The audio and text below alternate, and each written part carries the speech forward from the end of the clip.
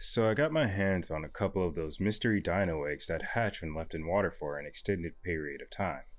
I thought to myself, who would enjoy watching this hatch with me? YouTube and my friends on Facebook. Those people are into all sorts of weird stuff. I don't knock it as I've been known to go down YouTube rabbit holes myself. A personal favorite of mine is abandonment porn. Those are the videos where people are exploring sometimes not so old abandoned buildings. Most places are overgrown and falling apart. I don't recommend anyone doing this, but if you do and you share the videos with us, thank you. My personal favorites are when they're crawling through abandoned shopping malls. I don't know why. It's probably complicated. Anyway, while I'm recording the hatching of the egg over literally, and you can ask Tom, literally four days, I've been playing Outer Worlds, which has just been fantastic. It was developed by Obsidian Entertainment, the guys who brought us South Park The Stick of Truth, Knights of the Old Republic 2, and most importantly here, Fallout New Vegas, with the huge honorable mention of Alpha Protocol. I really want to get my hands on a copy of that, and when I do, I'll probably make a video about it.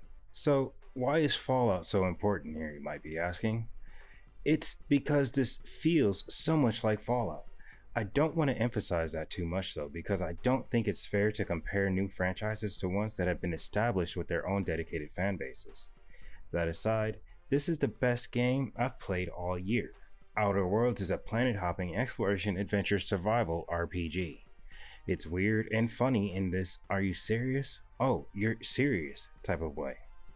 The story, characters, and universe don't really bring anything new or different to the sci fi space, and I think the game knows it. You wake up in a cryogenic tube, and this old man tells you you're the last hope for the others on the ship. They're all still frozen for some reason, and he's sending you on this adventure, which hopefully ends with everyone being thawed out, safe, and happy so they can go on to live long and fulfilling lives on a beautiful colony somewhere out there in space.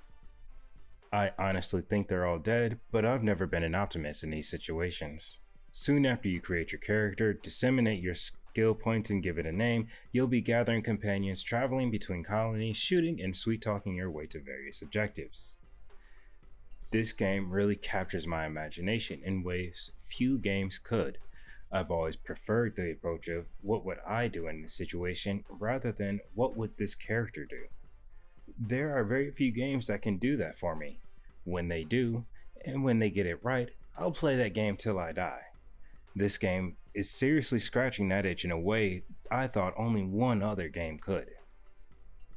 I believe I'm in the middle of the first act of the game. It just feels like there's so much room to grow, but it also feels like the game is growing while I play. Or this game's world is slowly and almost organically revealing itself to me. I guess that's what exploration is all about, isn't it? Finding new places and gathering information about those places. Brilliant. I hope it goes without saying.